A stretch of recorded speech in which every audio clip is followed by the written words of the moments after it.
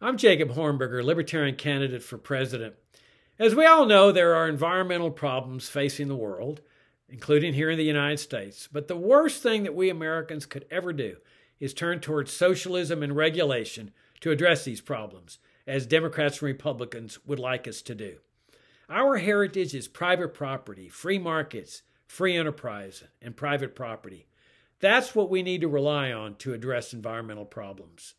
Um, Look at the Environmental Protection Agency. It is one of the most tyrannical and destructive agencies in the history of our country. Just talk to anybody out west that has had to deal with these people. And look at the, for example, the air pollution problem. Uh, they tell us that there are too many cars on the road. They've been telling us that for decades. And yet, who was it that brought into existence this federal, uh, enormous boondoggle, a socialist boondoggle known as the interstate highway system that destroyed countless neighborhoods and destroyed countless businesses. That would be the federal government, which modeled their system, ironically enough, at, after Hitler's Autobahn. And now they lament that there's just too many cars on the road, when it was their interstate highway system that contributed massively to that problem.